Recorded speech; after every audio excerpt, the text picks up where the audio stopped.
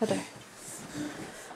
All right, so put my son in a timeout today because he pulled the Wii off of the shelf and knocked everything over. And I went out to fix it. And next thing I know, he's standing right next to me. So we're gonna see if little acrobat here can climb out of his bed.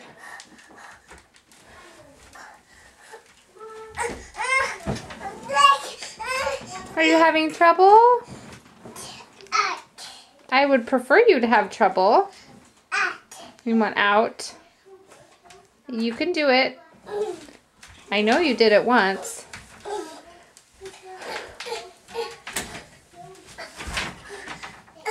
And there you have it, folks. My not even two-year-old climbing out of his crib.